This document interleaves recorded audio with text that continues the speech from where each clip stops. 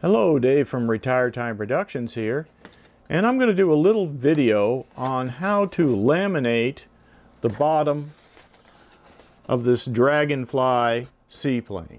Okay, so we're going to put some lamination on the bottom to protect the hull. The hull is just foam. There's no like uh, vinyl or anything on this. It's just foam and it's painted, so it's subject to being scraped up and damage. So what we're going to do is put some of this lamination film on there. Now this is 1.7 mil lamination. That's mil, not millimeters. This is a mil spec, so it's 1.7 mil. And I got this from Aloft Hobbies at the time. You can also get it in big rolls, like from Amazon. If you just search on there for lamination film, you can get large rolls of it. Okay, so we've got that, and you will need an iron like this. This is a Hangar 9 lamination iron that's used for MonoKote and other purposes. Works good for lamination film. The reason they call it lamination film is because it's often used to laminate the back and front, the back and bottom of signs and documents and things like that. And it's used like at Office Depot and their machines to laminate things. So that's what it is. In addition to that, you will need some scissors. And I'll show you why. Of course, obviously you got to cut off a piece, but there's more to it than that. You also have to trim it around the corners and things. So you need scissors. Knife really, uh, really doesn't do the job, but if I have to use a knife, I'll probably use an X-Acto blade. All right, so let's get started. Without further ado, I'm going to flip it over. Now I've got another camera view that I'll show you coming up now. Okay, so you can see the bottom of the hull right here. Let me check to make sure that camera is aimed where it's supposed to be. Yeah, that looks okay. Okay, I just made sure the camera was aimed where it was supposed to be, this camera on the side here. Uh, so now, so I've cut a piece of film here, and this is straight off the roll. This is the regular width right here that's on the roll, and then you just cut it to length. So I've cut it to length, so that it will basically go from the step right here on the plane just beyond the nose. And then I'm going to center it up. So I'll just pull it so it's centered. Now what I try to do is find the place that you can do the first bit of lamination without having to trim it. And it looks like I don't need to trim it going around the corners anywhere in there. I think I can make it work. But let's start down the bottom. What we'll do is we'll take our iron. I'll get this out of the way. So we'll take the iron and first of all we just want to line in the middle. And this can hang a little bit over the step. We can trim that off later. But let's just line the middle of this. Might have to pull it tight to make sure. Okay, we'll just get the center line first. And that'll hold it in place. Okay, now let's start working out to the outside edge.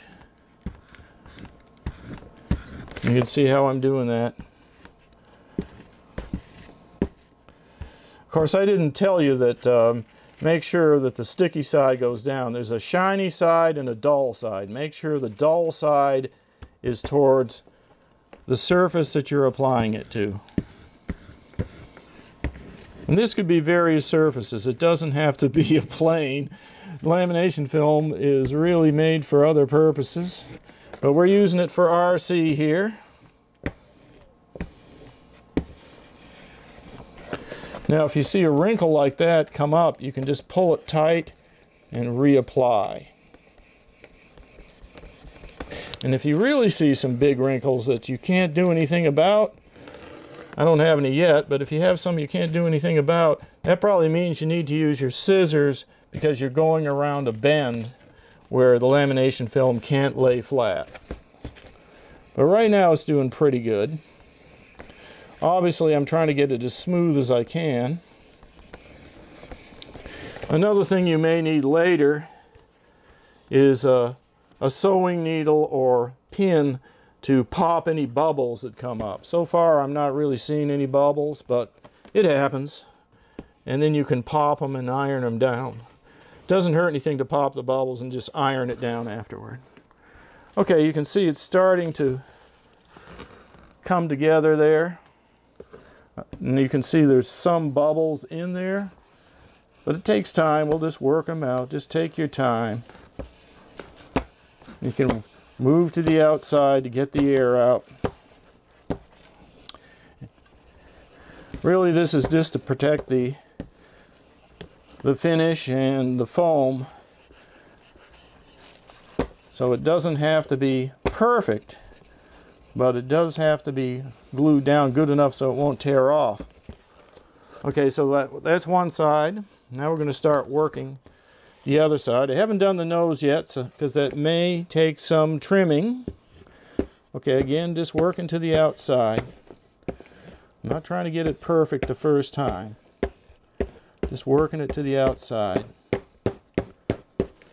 See, the tendency is to try to start at one end and then work your way down. That doesn't really work. That's why I had to put that center line to make sure it stays in place.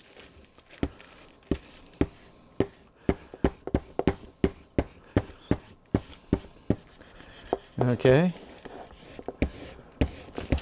Nothing hard. Just like ironing a shirt.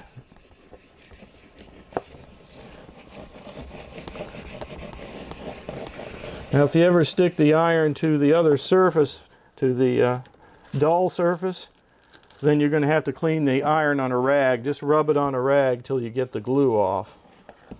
And that happens. You can use a rag or a paper towel. I happen to have a paper towel right here. If anything goes wrong, I'll use that paper towel to clean the iron. All right, so we got a little bubble right there. I think I've got it out. Well, that's looking pretty good. I'm gonna pull it back here a little bit. Okay, now we got the nose. Let's see, can I get that down? So far, it's looking pretty good. See, I'm worried I might get a big wrinkle because I am going around a curved surface. All right, so that looks pretty good. Apparently their mold, the way they did it was pretty much flat. There's just a little upturn at the end, but it's not out of the plane that I'm working in. So I'm okay. So I'll just keep going. Try to get it down as much as possible. Yeah, that's looking pretty good. Now you will see some of the little dents from the uh, cells in the foam. They look like little bumps. That's normal. Foam isn't perfectly flat. There are little bumps from the beads that were in the mold. So don't worry about that. I don't know what's going on there. It's like we had a little power failure. But it didn't affect the lighting, so as long as it doesn't affect the lighting, we're okay. All right. Yeah, recently I bought a uh, Generac generator just because I was worried about power failures. And in today's political climate, you never know what kind of destruction might happen. So I went ahead and got that. We also have hurricanes coming through, but that's just a side note. So hopefully if the power does go off, we can just keep on going. Because that generator will kick in. So, all right, so there it is. Let me see if you can see that. So I've got it down pretty flat on the hull. Now the trick is we've got to bend it around the edges. Now, I don't want to get that iron anywhere near that plastic. I get the iron near the lamination film, it's liable to start to curl up or stick to the iron, which is even worse. Okay, now we've got to judge how far. Now we don't need to go all the way over the wing. I'm not going to do the wing. I'm just doing the hull. We don't want to make it too heavy. So now I'm going to need to trim it a little bit. So let's see, right about there. I don't want to go all the way down to the wing. I just want to come along here. And we can go ahead and make a little slit. Let's see where we got here. Yeah, it's going to start to curve around the profile of the nose. So I'm going to go ahead and cut a slit right there. Okay. And then I'm going to go across this way. Now you don't have to remember every single detail. It's just kind of a free form thing where you, see, now that's going to lay like that. Is it going to go all the way down over the wing? No, I don't care. I'm just trying to put a little bit of strength into the hull and protect it against scrapes. So now I can go ahead and just start to tack that down. I'll just do that. That gives you the idea. All right. Now I want to pull it straight as much as I can. Just pulling it down straight. Using my thumb to just hold it down while I put the heat to it.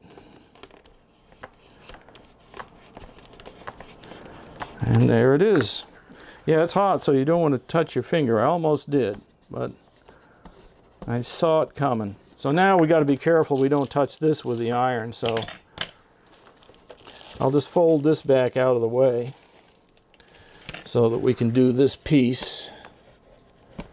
And you can see right there a little bit of the uh, paint got on the tip of the iron, so I'm just rubbing it off on the towel, paper towel. All right. All right, so that's pretty good. We can come back and clean it up later. But, you know, that's the basic idea.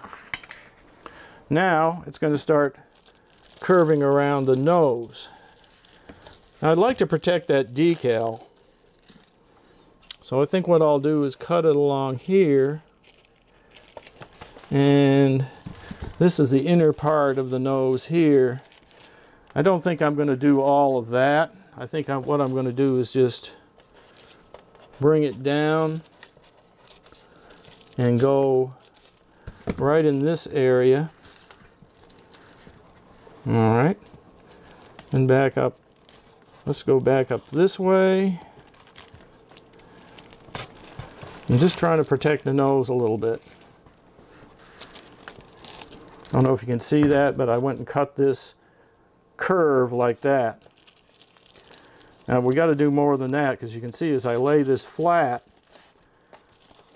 that, see how it wrinkles up right there? So that means we can't make it around the curve and keep a continuous piece. So we're going to have to cut it right there and then fold that out of the way. And you just keep doing that as you go around the curve. Now if that's still not enough, if you don't think you can lay it flat, it doesn't look like it, so let's give it another cut. Let's give it a cut right there. Now let's judge about which side overlaps. All right, so it looks like this side is overlapping over that, so that's good. So we'll fold that out of the way and we'll lay this one down. Okay. So just lay that flat, moving the iron away from the edge, like that. Okay, now we can lay this one down over it. And we'll go down along with that. Just got to make sure that it's laying flat, holding it with my fingers. And always harder to do these things on camera than it is by yourself with no camera. So I'm liable to make more mistakes doing it on camera than I would off camera. That's why, I like those sayings that, well, it always works good at home when no one's looking. Well, that's part of the reason because when you're trying to show somebody, you're in a different position trying to show them the view than you are when you're doing it by yourself. So anyway, I got that on there. Now, if you don't mind, I'm going to sit down a second so I can take a closer look. Looks like I'm going to have to go around this corner here. So, yeah, it's going to have to be cut again. I'm going to go ahead and just tack this down. But that's pretty good. Now, we've got a lot of places we're going to have to cut. We want this to go around the edge, but we don't need this much. So I'm going to cut that off. And keep it away from the iron at all costs. That lays on the iron, we got a big cleanup job to do. I hope you can see this. Yeah, I believe you can. I was just checking to make sure it was in the camera. Because I never know. I tell you what, I'm going to turn this display around so maybe I can see better what I'm doing. Okay. Yeah. All right, so now let's make us another slit and see where I'm going with this. So that piece will lay there, then this one will go over it like that.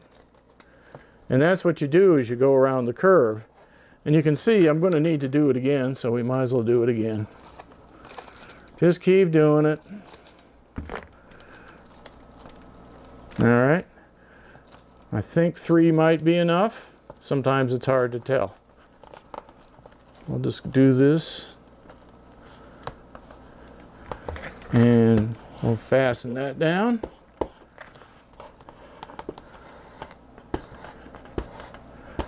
All right. It's looking good so far.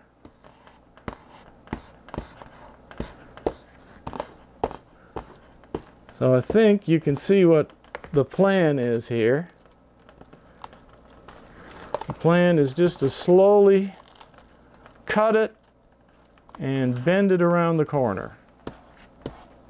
Of course, the nose is one of the most sensitive places you know, if you run into anything and you damage the nose, the good thing about this lamination is sometimes the nose might get crushed, but you can iron it back out. The lamination tends to, the heat or whatever from the iron and the lamination tends to expand the bubbles back, the foam cells back out and fill in the gaps and actually straighten it back out. So sometimes you can actually do the repair without taking it the pieces back apart. They'll actually just expand back if it's not too bad of a damage. So that's another reason to laminate. Okay, so that side there is getting good.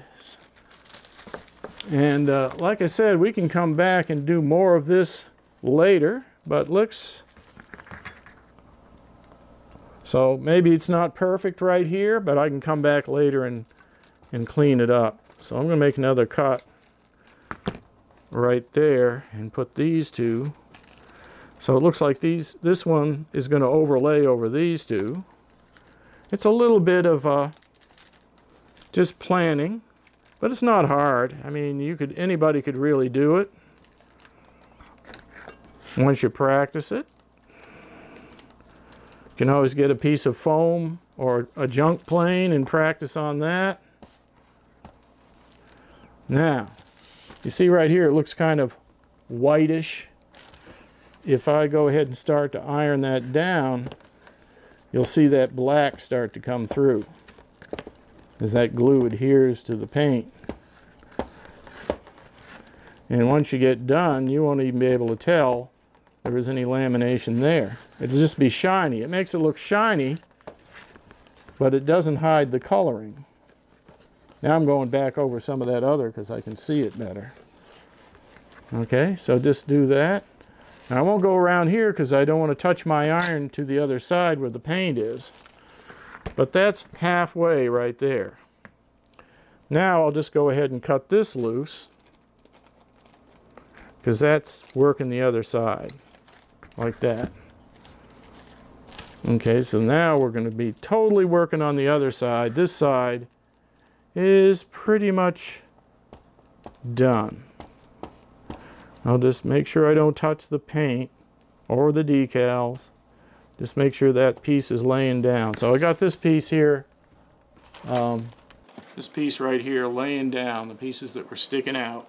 And now this other side will go over the top of it right here. Okay, just lap over it. Okay, so that's that side. Now we got to move to the other side.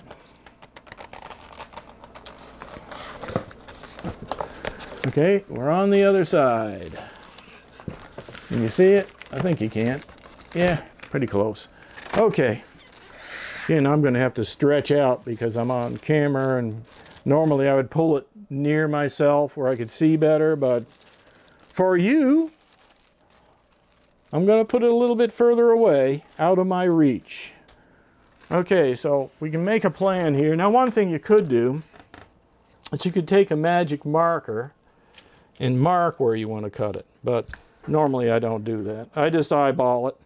But if you want to make it easier, you could do that. So I already know from the other side I had to cut a slit right here. Right like that. So I just did that ahead of time. And then we know we've got to cut along here and see how you sometimes you can just run the scissors along like that and it'll cut it. Okay, remember I'm not trying to go all the way to the wing. I'm just getting it over that edge. Okay, now we're going to start to lay that down flat. Trying to stay away from touching any of the paint with the iron. You can look at the iron, see if there's any paint, and if there is, you can just rub it on the paper towel or cloth, whatever you got to remove it. It will come off.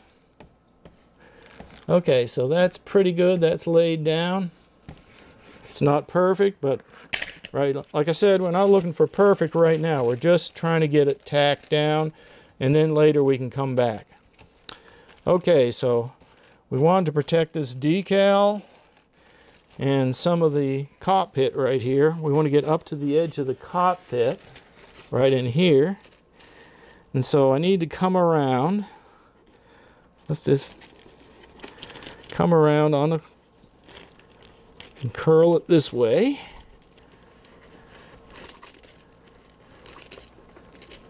See how we're doing. That's pretty good. Just like that. Now, you can see how that is. That's probably going to be okay there. I do see a little wrinkle here, so we'll start by we'll start by uh, lapping this section over the old the previous one. So I'm just going to lap that.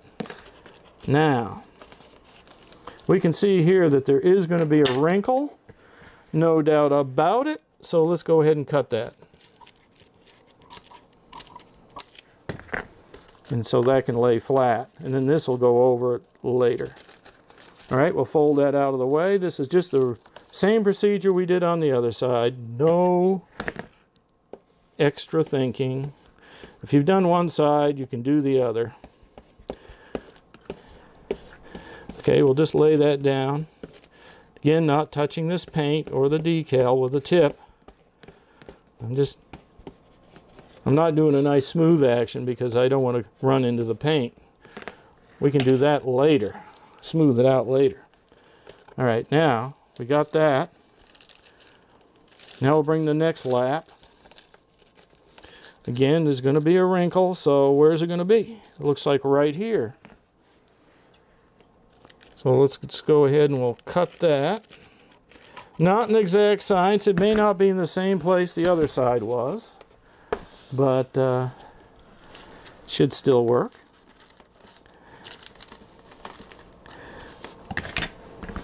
Just use your eyeballs. Calibrated eyeballs. Sometimes the eyeball will tell you more than you think.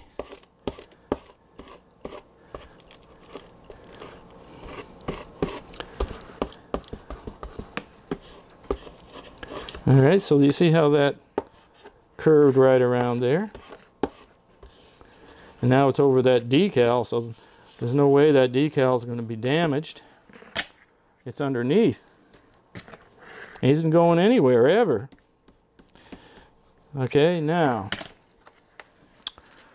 the next thing is to do this piece. And now we're going to have to start shortening our laps because let's see where this is going. Okay, it's got to overlap over there. So let's cut off this corner and see how that laps over. That's good. Now we need to make us another cut up this way.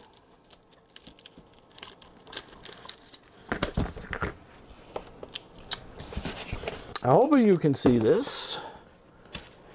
I'm just trying to look at the camera and see if I am in view. All right, peeling that back. And that's lapping over the previous one. And the laps are going in the right direction. That's purely accidental, but as the wind blows over it, it won't peel up the lap behind it because of the direction that I put it. But uh, wasn't very well planned. It just comes out that way because of the curve. The curve of the fuselage kind of makes it so you have to go that direction. Okay, it just went around the edge there. Okay, now we're going to come down with this one. Now obviously we're going to need another cut because this is going to wrinkle up. So let's just make us a cut, kind of splitting the difference. All right. That's great because I have enough where I can get this to go around the bend or around the curvature and still have enough to tack it down over the top of the, the uh, left-hand side one. All right, now we'll bring this one in. And at this point, I think I'm just going to commit and just put that down. Uh, we can make one little last cut there if we want, but I don't think it's necessary. It looks, it, it might be a little crinkly, but I don't think it's a big deal. All right. I'm going to flip it over. There we go. Hope you can see that. I got to pick up the scissors, but while I do, I'll just tilt this camera down just a tad. There we go. All right. All right, now we're going to finish it up so you can kind of see how all that proceeded. It wasn't a, really that hard. You didn't hear me grunting and groaning. I wasn't putting a lot of effort into it. It's kind of like just ironing a shirt or maybe eating a bowl of cereal. You just start at it and before you know it, it's all done. It's just a matter of concentration. And actually, it's kind of relaxing just sitting there doing it. And there it goes. It's kind of like that painting, right?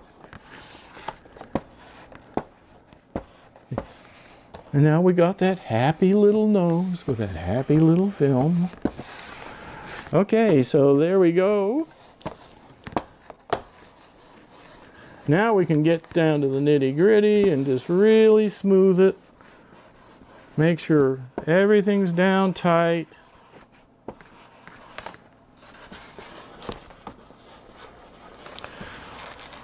And there we have the incredible Incredible laminated hull.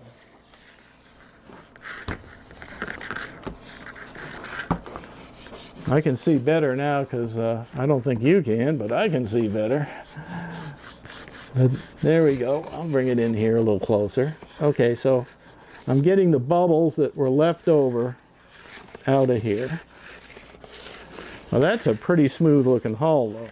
But there is one bubble right here. I don't know if you can see that, but what I do now, like I said earlier, was if you have a bubble that won't smooth out, you can take a pin, just poke a hole in it, and then as you iron it, the air will come out and it'll go right down flat. So any places you see that and it won't adhere because of that air under there, you can put one or two little holes and then just smooth it out. And you just keep doing that. Now, are we worried about water leaking through it?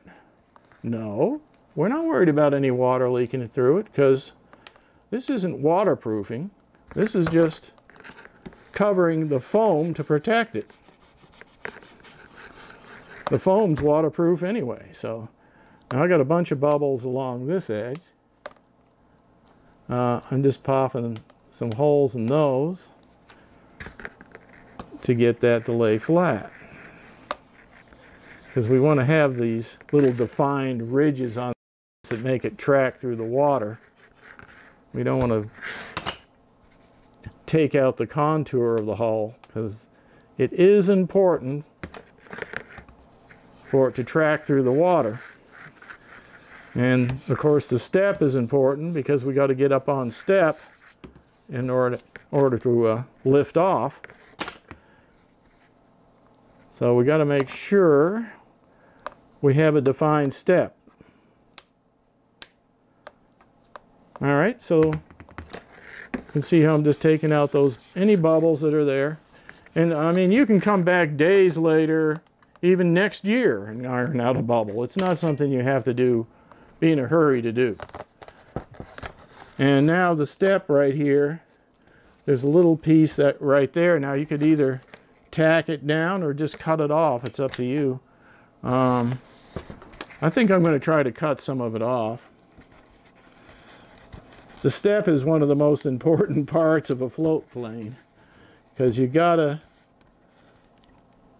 gotta be able to lift off the water and if you don't have a step either on the pontoons or on the hull like this you won't be able to break the surface of the water. So there we go. All right, so that's that's it. Now I can go through and and do some more later, but I think it would make the video too long.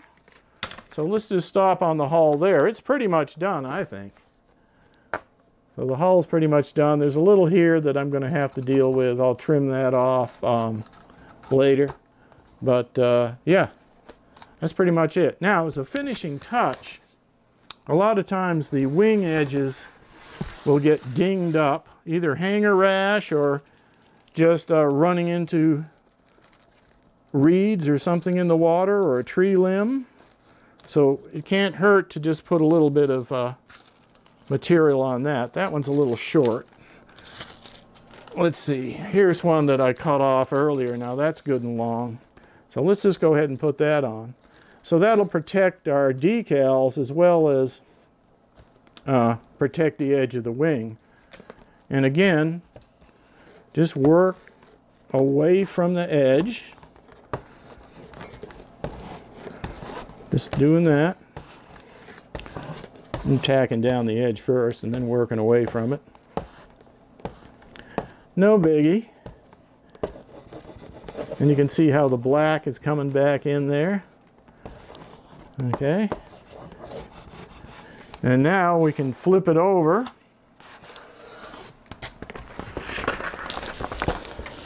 And we'll just drag this around.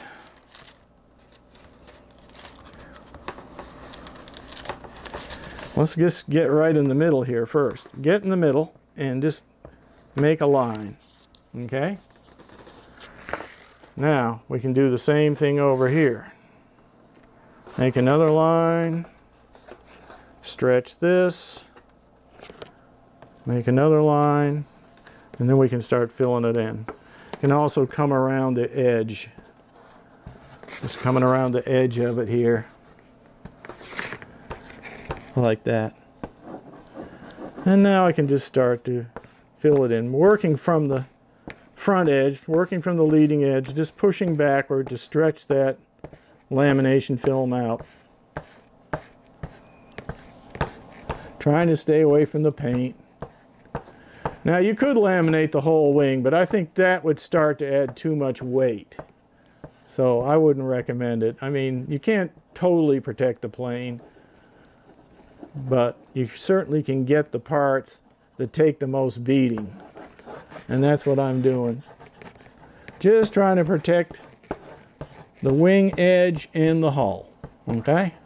I'm not going to do any of the control surfaces or anything like that.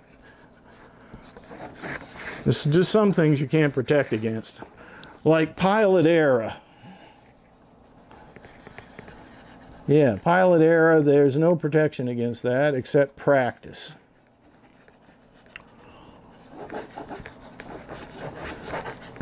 If you haven't flown before, I highly recommend 100% get on a simulator. Put in a couple hundred hours on a simulator before you go out and waste a bunch of money on an aircraft. Because these foam planes, they don't take a lot of uh, hits. Like, say, a mini quad, you can run into stuff with it and just break a prop or something. These, you're going to end up with a debris field. So you definitely want to know what you're doing. You want to practice up and uh, at least get the part down where you understand or almost have it second nature that when the plane turns around and heads towards you that you're going to move the aileron stick the other way because that's the part the orientation of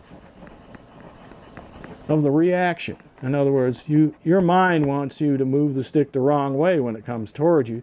You have to overcome that. Get it into your muscle memory before you waste a lot of money on planes. And the simulator is a good way to do that. I used Real Flight, if anybody wants to know, but there's some cheap ones out there like Phoenix that don't cost hardly anything. It doesn't have to be fancy scenery or anything like that. It's just a matter of when the plane turns and comes towards you, you've got to automatically know what to do. And that's all it is. It's just learning that reflex. It's kind of like riding a bike. At first you can't balance it, but then it becomes second nature and you don't even think about it. That's the point you got to get to. If you have to think about which way to move the stick, it's too late, guys and gals. It's too late. If you have to think which way you're going to move it, it's already in the ground. You can might as well just bury it right there. Unless you're out to get earthworms. All right, so we got it done. I'll do the same thing to the other side and that's it. I mean, pretty much a, a no-brainer. It's just ironing. I know, men hate ironing. I'd rather have my wife do it, but sometimes we just have to buckle down and do it. What if you're single? Maybe some of you are single. Or maybe your wife's pissed off at you and she won't do the chores anymore. Maybe she thinks you're a chauvinist pig. So let's just make sure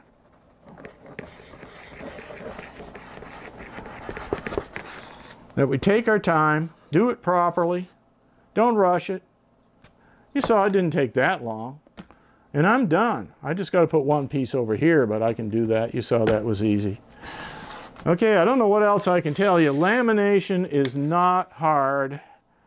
And 1.7 mil gives you your best bang for the buck because it's got enough strength to protect the plane, but not so heavy that it'll add extra weight.